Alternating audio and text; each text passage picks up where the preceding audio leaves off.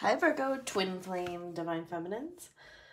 This is a special reading of general guidance, what you'll be working on from the eclipse on December 22nd to the next three months of 2020. And it's just guidance from the Divine Masculine Collective, Archangels, Source Energy, and Ascended Masters. They asked me for you to bring out the black tourmaline. So here we are. I've already shuffled the decks. I'm going to shuffle a couple more times and pull your cards. I'm Jennifer. I'm Divine Feminine, uh, Theta Healer, Shaman, Mystic, Oracle. I read tarot cards. I'm a psychic medium and I help Divine Feminines on their path to unconditional love. So,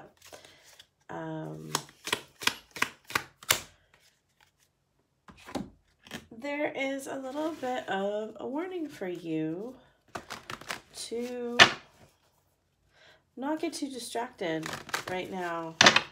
Um, there's a little bit of energy that's coming through that you are potentially being led down a path that is not going to serve your highest good. It feels like a doesn't feel dangerous or anything. It just feels like something like you want a little bit of a retreat and you're looking for a little bit of fun to lighten up this heavy negativity. There's nothing wrong with that. Um, they're just saying don't go too far astray because, oh, all right, we had something flip. It's Kuan Yin, caring compassion. I get the sense that you're taking care of people right now, and it's weighing heavily on your heart. Um, and that you need to like let loose a little bit, break free a little bit. They're just saying you can do this. Don't let it get to the point where you are um, you're not taking care of yourself and it goes too far. Like instead of doing it consciously, you're doing it unconsciously. Let's see what the cards have to say. They keep showing me this lotus blossom here. Don't get stuck in the mud, okay? You don't need to get stuck in the mud. You can have some fun and a little vacation, perhaps. We have dance. That's exactly what came to my mind. Do something to shift your vibration. Akasha, your your guidance is divinely guided. Buffalo Spirit, the abundant universe will provide. They're showing me there will be opportunity for you to fly. They're showing me these feathers. Deer Spirit, bring a gentle touch. Fly somewhere and have a little bit of adventure. Canary Spirit, sing your own song. There's a lot of, they're bringing a lot of lightness in for you because it's very heavy. Get some black tourmaline and um, meditate with it a little bit, of a couple minutes. Mary Magdalene, Teacher Awakens. This has been prevalent in a couple different of the signs, a couple readings. Bridget, Inner Strength. So that's a beautiful card to come through for you if you're having this heaviness on your heart. Saint Germain, we got that in Leo. It was the other deck, but the same card. Um, you can create miracles. And Neptune. I attuned to the wisdom of Atlantis and Lemuria held in Neptune. Every single pile so far, and I only have two left, has had um, Lemurian wisdom come through. Turquoise, shamanism. So this is a shaman stone, turquoise. Put these right here feel like I'm jamming a lot of cards in here.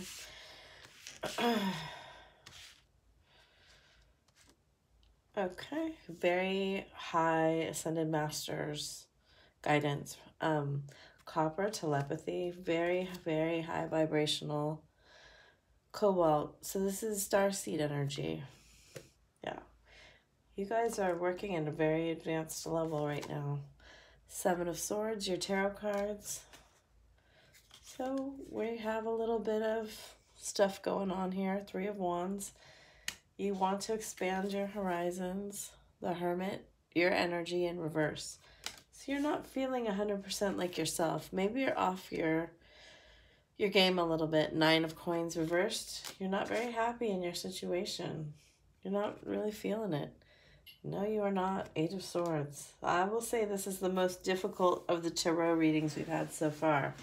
And also the highest level of guidance that's come in. Very, very high vibrational guidance. So first of all, I want to say that Kuan Yin's coming through very strongly. Um, you are being very, very divinely guided and protected. And you need to like give yourself some pats on the back. You need to give yourself a little recognition. You, I'm getting the sense on your journey might be a little bit alone. You might not, but you might, even if you have support around you, you might feel alone. Um, this journey is just lonely sometimes, especially if you are in the higher vibrations and you're a teacher who's awakening, you know. This is, you know, the, I'm a fan of Esther and um, Abraham and Jerry Hicks. And, you know, this is cutting edge. This is very cutting edge. You have a 10 and a 7 and another 7 and 8 and a 9 a 3 in, a her- in the hermit which is a um, 9 so you're progressing and here you have a 3 a 9 and a 10 you're progressing very very quickly you're really raising highly in your vibration um, your earthly vibration not your soul vibration because your soul vibration doesn't raise um, and if you're not keeping up with that vibration, you might feel the pull between where you're being guided and where you're stuck here. Because I am getting this feeling that you are stuck. You're stuck. This is heavy energy here the hermit, you know, it's a solitary card, and in re- reverse, it doesn't necessarily mean it's not solitary. And so is the nine of coins, and it's you just not being happy being yourself, you know, because a because a Virgo that's in their own power is happy in their own abundance. It, it they are happy going inward and they are happy being extroverted, but right now you're looking towards the horizon and you're a little bit trapped in your mind in a negative sense. And this might be that you're bound to care for someone right now that's a little bit of a burden. You know, I'm not getting the sneaky so much with this card or the deception. I'm getting a little bit of that that, you know, nine ten of wands energy where it's a little bit of a burden. You see her here in her blue right? In her purple in her spiritual element. Out out in the desert under a full moon. Carting away these five swords right? And i just get the sense that you are having quite a large download of spiritual knowledge that you're not completely up to speed with. And it might be that you're giving yourself so much. You're giving your care and compassion to those who need you. Someone who's ill or someone who just is requiring a tremendous amount of your energy. Um, kids, aging parents, um, uh, volunteer something, I can see that you're being quite selfless in your your giving right now, and um, two very high vibrational cards again. Expanding consciousness, ascension, you know, using that violet light, that violet flame to alchemize the pain and suffering of others. And um, you're learning you're learning how to use this flame here. Oh my goodness. What's wrong with me here? Okay. You're using how you're learning how to use this flame. And you're being guided. I, I get some of you are hands-on healers too, or you work with energy healing. This gentle touch here. They're showing me um, feathers in each one of these pictures. Um, this feather as being a symbol between uh, heaven and earth. So some may have, um, even though you're an earth sign, you may have significant air in your chart because I am getting the sense of there's a lightness um, to your healing abilities. There's um, some some part of it that is a mental manipulation of energy, not in a negative way, but uh, a healing modality like theta or um, scalar or reiki or all these different crystals perhaps um, or using um, smoke like with feathers um, or using airwaves of sound.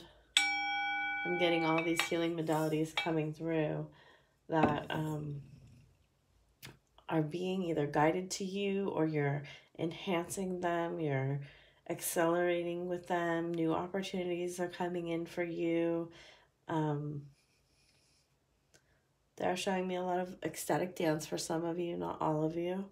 And um, this is the weirdest message. I don't know what this is coming from. Uh, some of you will be working with yoga practitioners and they want me to I please comment if this applies to you because this is a very specific message for me to get through.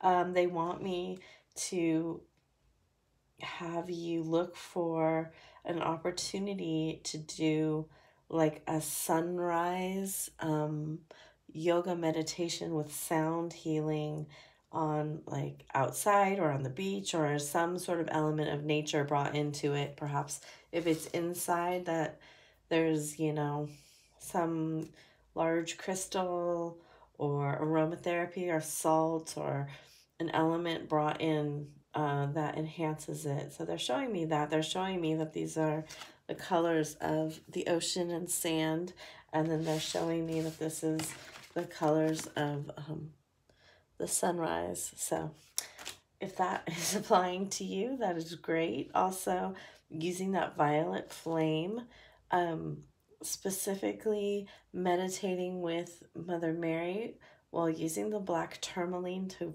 ground um, that very, very high vibrational Neptunian energy and um, accessing the Akasha, if that's something that you like to do with your past lives and um, they are showing me past life healing and that maybe something you also do get involved with um, karmic healing somehow, but that the lotus flowers will bring you uh, out of that deep earth bound feeling up into the air and light. And Whew, that's a lot that just came through. I hope that helped you. That is a very intense message that came through.